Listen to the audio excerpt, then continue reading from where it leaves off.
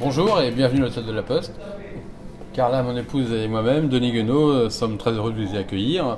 L'hôtel de la Poste, c'est tout le charme d'un ancien relais de poste euh, rénové qui vous accueille tous les jours, toute l'année, 7 sur 7. L'hôtel euh, est composé de 23 chambres, différentes capacités, familiales, standard, confort. L'hôtel est composé aussi d'un restaurant à vocation gastronomique euh, qui se fait fort de vous faire plaisir au quotidien.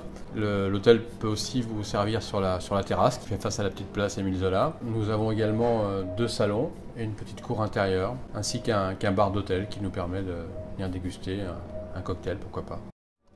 Voilà, bien, en conclusion, je vais vous inviter à, découvrir Clamcy sous, euh, sous trois axes, on peut dire.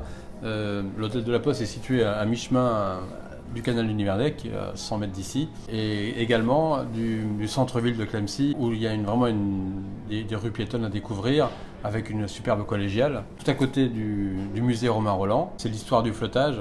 Et puis donc le canal qu'on peut emprunter euh, en bateau évidemment, mais aussi à pied ou à, vélo pour euh, découvrir euh, tout ce que le canal peut vous apporter comme, comme intérêt touristique.